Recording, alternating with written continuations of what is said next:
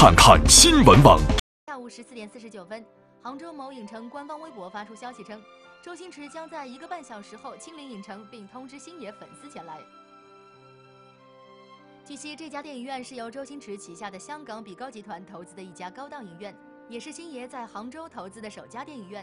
下午十七点五十分左右，周老板乘坐专车亲自前来巡视。虽然当天杭州气温高达三十八度，但星爷却穿着长袖运动服，头戴棒球帽亮相。面对在场粉丝，还吐舌头卖萌，大秀可爱，令众粉丝惊喜不已。现场一波一波的女服务员上前要求合影，周星驰一一答应。